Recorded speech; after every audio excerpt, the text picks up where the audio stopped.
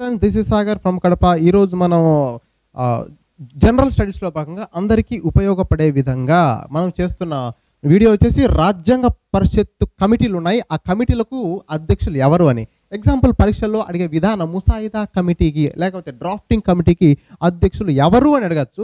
అయితే ఈ అధ్యక్షులందరినీ కూడా ఎలా గుర్తు పెట్టుకోవాలో ఎలా గుర్తు పెట్టుకునే విధంగా ఈ యొక్క క్లాస్ అనేది ఈ యొక్క వీడియో అనేది మీకు అందిస్తున్నాను. ఒకసారి గమనించండి. ఆ ముసాయిదా కమిటీకి ఎవరంటే ఇంకా ఎవరు చెప్పనవసరం లేదు డైరెక్ట్గా చదివిన ప్రతి ఒక్కరు కూడా డాక్టర్ బిఆర్ అంబేద్కర్ అని చెప్తారు. ఈయన గురించి తెలియని వారు ఉండరు. ఎందుకంటే రాజ్యాంగం రాసింది ఎందుకంటే డ్రాఫ్ట్ ముసాయిదా కమిటీ అంటే రాజ్యాంగం రాసిన వారి- రాసిన వ్యక్తులని. ఒకసారి గమనించండి. నెక్స్ట్ వచ్చేసి ముసాయిదా కమిటీ అన్నా డ్రాఫ్టింగ్ కమిటీ అన్నా ఒకటే. నెక్స్ట్ వచ్చేసి ఎలా గుర్తుపెట్టుకోవాలన్న అంశం మీద చేస్తున్నా చక్కగా వింటే చివరికి నేను రివైజ్ చేస్తుంటా. రివైజ్ చేసేటప్పుడు కూడా మీరు మీరు కూడా నాతో పాటు రివైజ్ చేసినట్లయితే ఈ యొక్క వీడియో తర్వాత ఈ యొక్క మొత్తం పాఠం మీకు వచ్చినట్లే. దాదాపు చూడండి సలహా కమిటీ హక్కుల కమిటీ లేకపోతే రాష్ట్రాల రాజ్యాంగ కమిటీ ఎవరిచ్చా ఎవరి అంటే ఈ మూడు కమిటీలకు కూడా సర్దార్ వల్లభాయ్ పటేల్ అయితే ఇవి అనగానే రాస్తారు వర్ధ వల్లభాయ్ పటేల్ కమిటీ సర్దార్ వల్లభాయ్ పటేల్ అని గుర్తు రావాలి. ఎలా గుర్తు రావాలి? అంటే మామూలుగా సర్దార్ వల్లభాయ్ పటేల్ అంటే మనకు సర్దార్ అనగా సర్దార్జీ అనేది చాలా ముఖ్యమైన పదం అది. మామూలుగా ఆయన తెలిసిన వ్యక్తి. మొదటి భారతదేశం మొట్టమొదటి ఉప ప్రధాని అని తెలుసు. ఓకే ఆయన గురించి చెప్పుకోవాలి చాలా ఉన్నాయి. అయితే ఈ వీడియో యొక్క ముఖ్య ఉద్దేశం ఏంటంటే ఎలా గుర్తుపెట్టుకోవాలి?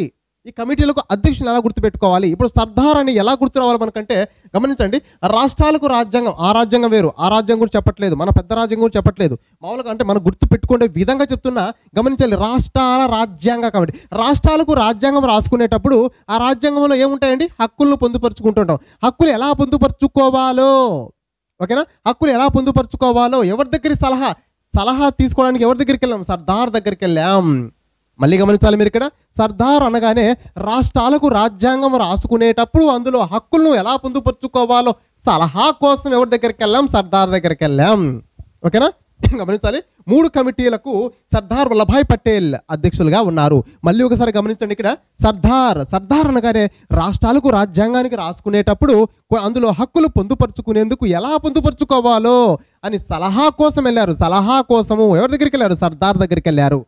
నెక్స్ట్ సారథ్య కమిటీకి జాతీయ పతాక తాత్కాలిక కమిటీకి ఫైనాన్స్ అండ్ స్టాఫ్ కమిటీకి అండ్ రూల్స్ కమిటీకి ఈ నాలుగు కమిటీలకు రాజేంద్ర ప్రసాద్ బాబు డాక్టర్ రాజేంద్ర ప్రసాద్ గారు. అయితే ఈ రాజేంద్ర ప్రసాద్ గారి నుంచి ముందు ముందుకు తెలిసిందే మీకు ఎందుకంటే ఆయన భారతదేశానికి మొట్టమొదటి రాష్ట్రపతి.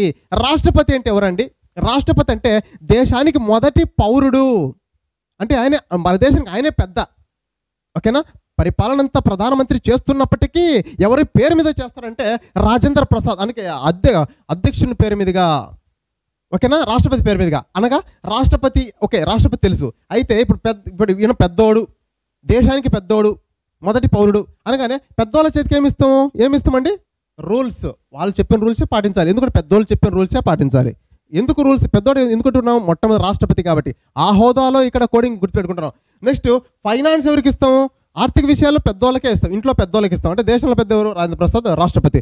నెక్స్ట్ సారథ్య కమిటీ అంటే సారథ్యం ఏదైనా ఒకటి ఏదైనా ఒక పెద్ద ఒక పెద్దకే ఏమి ఇస్తాం? ఒక సారథ్యం అప్పచెప్తాం సారథ్యం అతనికే ఇస్తాం. ఫైనాన్స్ అతనికే ఇస్తాం. నెక్స్ట్ వచ్చేసి రూల్స్ ఆయన చెప్పిన రూల్సే పాటిస్తాం.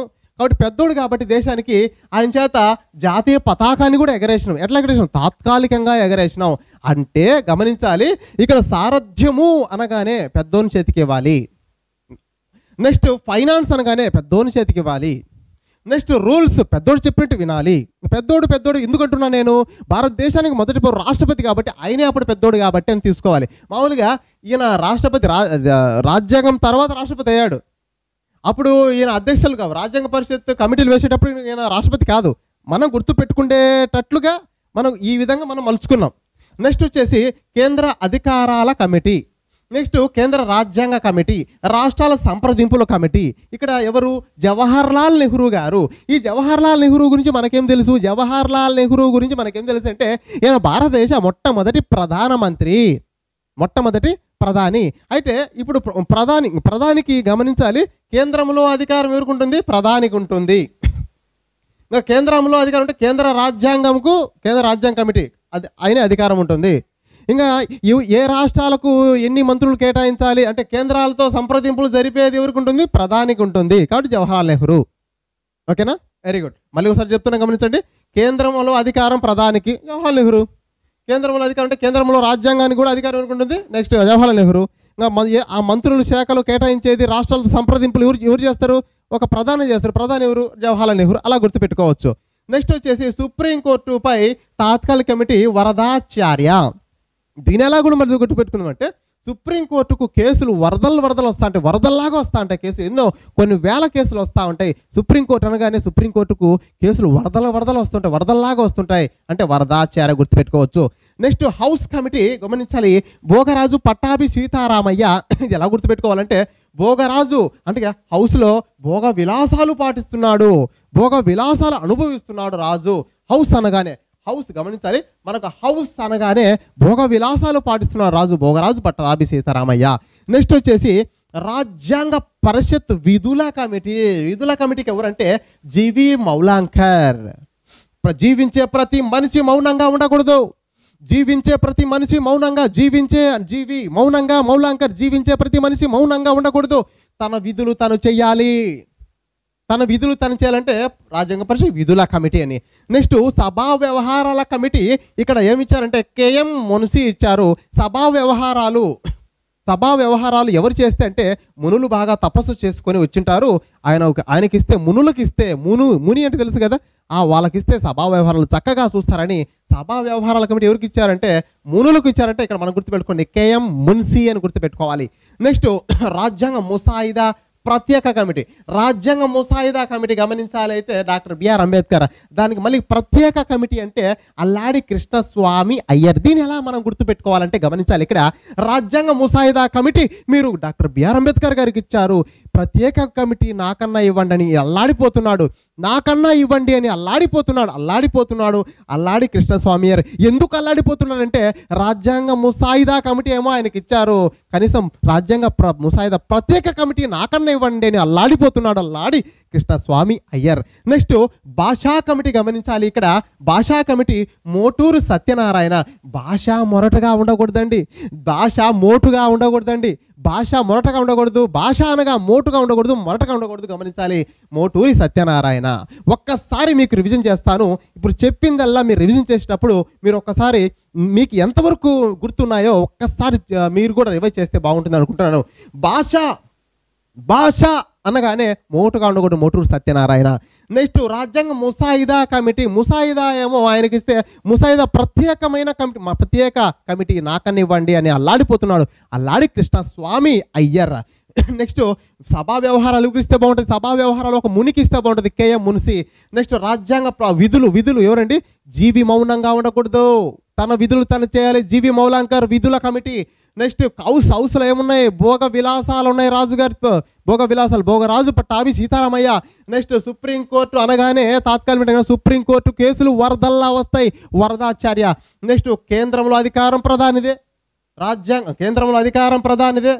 నెక్స్ట్ వచ్చేసి కేంద్రం కేంద్రం అన్నాం కాబట్టి నెక్స్ట్ కేంద్రం అనగానే ప్రధాని తీసుకోవాలి. రాష్ట్రాలతో సంప్రదింపులు జరిపేది ప్రధాని తీసుకోవాలి. అప్పుడు ప్రధాని ఎవరంటే మా- మామూలుగా ప్రధాని ఎవరంటే మొట్టమొదటి ప్రధాని జవహర్లాల్ నెహ్రూ. అలా గుర్తుపెట్టుకోవాలి. నెక్స్ట్ సారథ్యం మన పెద్దోనికి ఇస్తాం. పెద్దోడు అంటే ఎవరు? మన దేశంలో మొదటి పౌరుడు అంటే పెద్ద పెద్ద అంటే ఎవరు? మొదటి మొట్టమొదటి రాష్ట్రపతి ఎవరు ఇక్కడ పెద్దోడుగా తీసుకుంటే రాజేంద్ర ప్రసాద్? ఆయన గుర్తుపెట్టుకోవాలి. ఓకే ఫైనాన్స్ దేశంలో పెద్దోనికి ఇస్తాం. నెక్స్ట్ రూల్స్ ఆయన చెప్పినట్టే వినాలి మనం. ఎందుకంటే పెద్దోడు కాబట్టి. అని అంటే ఎవరు గుర్తు రావాలి వెంటనే రాజేంద్ర ప్రసాద్ గారు గుర్తు రావాలి ఓ రాష్ట్రపతి పెద్దోడు కాబట్టి. ఈయన చేతికే జాతీయ పథకం ఎగరవేయాలి. అది తాత్కాలికంగా ఎగరవేయాలి గుర్తుపెట్టుకోవాలి. నెక్స్ట్ సలహా హక్కులు. రాష్ట్రాల రాజ్యాంగాల కమిటీ. ఇక్కడ గమనించండి రాష్ట్రాలకు రాజ్యాంగం రాసేటప్పుడు మీరు గమనించాలి హక్కులు రాసుకోవాలి. ఆ హక్కులు రాసుకునేటప్పుడు కొన్ని సలహాలు తీసుకోవాలి. ఎవరి దగ్గర? సర్దార్జీ దగ్గర తీసుకోవాలి. సర్దార్ వల్లభాయ్ పటేల్. నెక్స్ట్ ముసాయిదా కమిటీ అయినా డ్రాఫ్టింగ్ కమిటీ అయినా ఒకటే. దీనికి ఎవరండి? ఎవరైనా చెప్తారు ఇంకా? Doctor B R Ambedkar. ఈ విధంగా మనం గుర్తు పెట్టుకున్నట్లయితే ఈజీగా పరీక్షల్లో ఎక్కువసేపు ఆలోచించకుండా టక్కున వెంటనే ఆన్సర్ చేయడానికి ఆస్కారం ఉంటుంది. ఈ వీడియో మీకు నచ్చినట్లయితే ఇలాంటి వీడియోస్ కోసం మన ఛానల్ని సబ్స్క్రైబ్ చేయండి. നമസ്കാരം